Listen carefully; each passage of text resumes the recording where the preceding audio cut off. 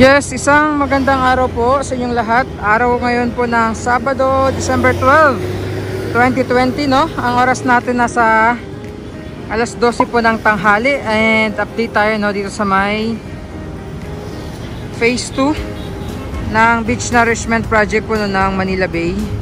So silipin na natin.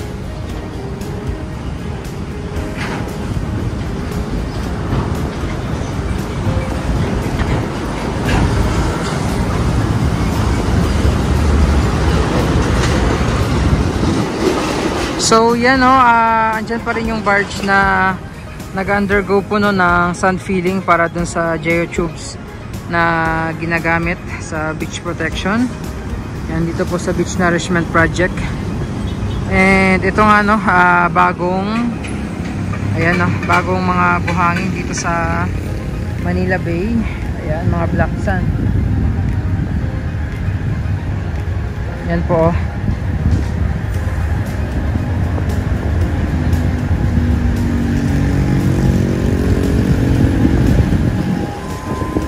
So meron dito mga ilang truck to 1, 2, 3, 4, 5, 6, 7. Ayan, para mga nasa 7 trucks po no ng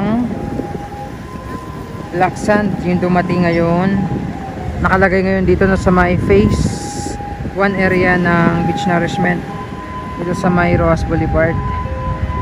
Ayan, so maliban pa po yan doon sa mga black sand ngayon na nandyan sa barge na ginagamit po no, para sa sand filling ng mga geotubes.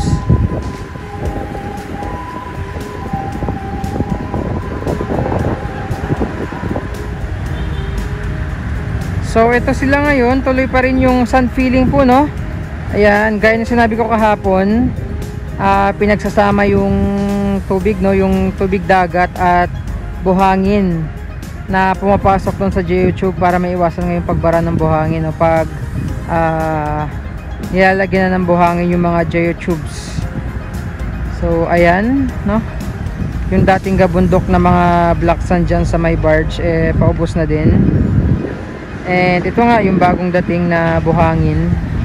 Ito po. Ayan.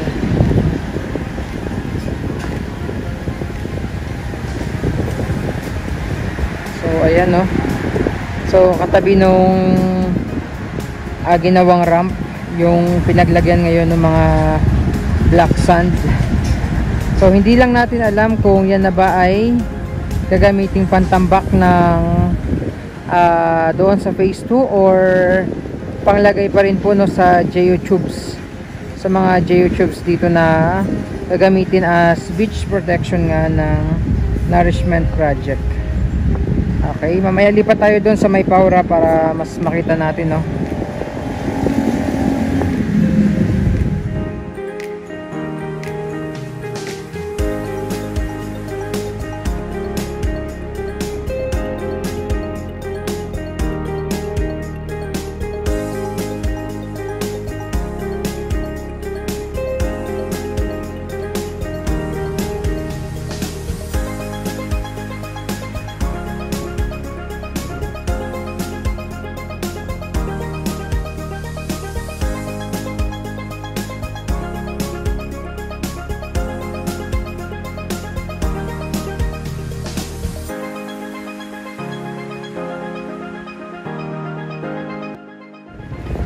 Ayan, so dito tayo ngayon sa may Paura. Ayan yung ulit yung outfall dito. And ayan nga kanina yung nakita nyo na mga black sand nung nasa footbridge tayo no.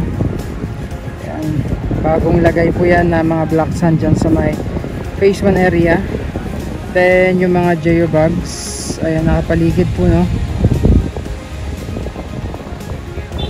Ayan, tapos ito na yung barge kung saan nag uh, kakaroon sila no ng feeling na sun feeling doon sa mga geotubes ayan kung napanood yung last video natin kahapon so meron tatlong steps po no sa uh, pagsaset up ng geotubes yan yung feeling yung una then the watering and consolidation yung pangatlo. Yan. So sa ngayon patuloy pa rin no yung paglalagay nila ng buhangin para doon sa uh, geotubes na sineset up ngayon dito sa beach nourishment project ng Manila Bay Rehabilitation.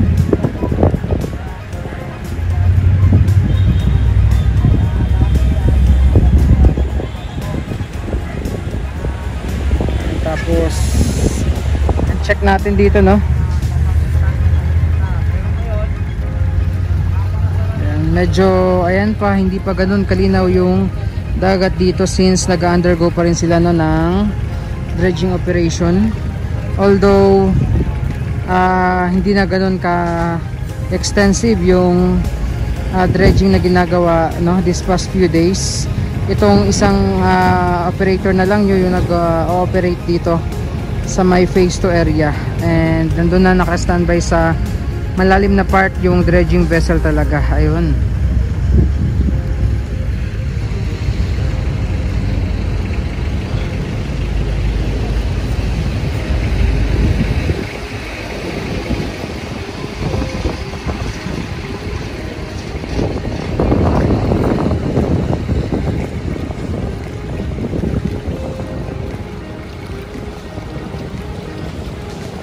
So yung nakakapansin dito no, uh, kapansin-pansin na pag nag-dredging sila eh hindi na ganoon kabaho yung burak na hinahalukay nila diyan sa may ilalim ng dagat. Eh no, as compared to mga dating dredging last year talaga, pag nagkakandak po sila no ng dredging operation dito ay grabe, nangangamoy talaga no, nakakasulasok yung amoy ng burak dito. Whereas ngayon, yan wala na gaanong mabahong amoy yung uh, mga burak na nakukuha dito sa kanilang dredging operation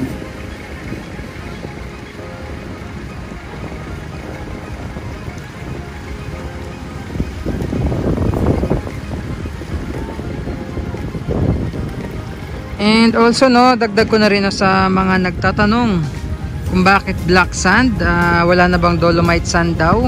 Bakit daw black sand yung nandito ngayon? Uh, no?